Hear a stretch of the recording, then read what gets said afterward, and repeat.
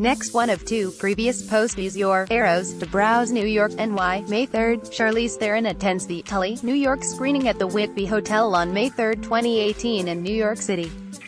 Photo by Theo Wargo, Getty Images, one's about the intense pressures of motherhood, and the other explores the ramifications of refusing to grow up.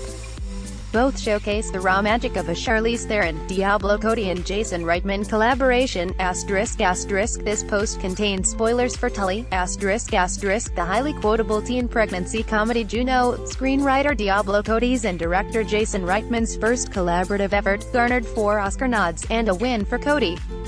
The film was a critical and commercial success and is a modern classic. Cody and Reitman's latest partnership, Tully is, to put it mildly, a bit more controversial. I can't help but suspect that the film's darkness is at least partially responsible for this, and it is dark. There's no two ways about it.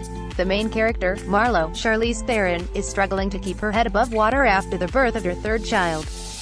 Along with the newborn, Marlo has sweet but befuddled, re-useless, husband, two elementary school-aged kids, one of which with special needs, and postpartum depression. Tully is definitely funny, Theron is the master of the withering stare, but it's no light-hearted romp.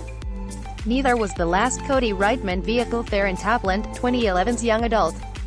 In fact, it's probably even more uncomfortable than Tully.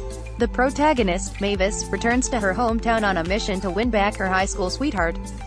If that sounds like standard rom-com fare, keep in mind that said sweetheart is now married with a baby. So, yeah, a Cody Reitman joint is as likely to be grim and uncomfortable as it is offbeat and motormouth. If anything, Tully is just proof that young adult wasn't a fluke. Tully and Young Adult both explore the idea of fulfillment, or lack thereof and the surface. Marlo and Mavis are very different, the former is a suburban mother, wife and HR rep. The latter is a divorced, city-dwelling YA author. Yet they both have an affinity for trashy reality TV, however, neither woman is satisfied with her life. At least, she's living a life far removed from the one she grew up imagining. For Marlo, this realization is a byproduct of her postpartum depression.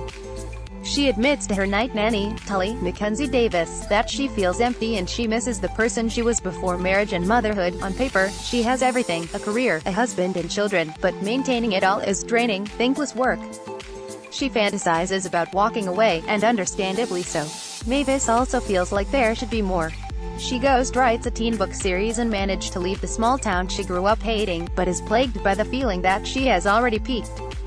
She becomes convinced that to be her best self she needs to go back to her old life, particularly her former flame buddy, Patrick Wilson.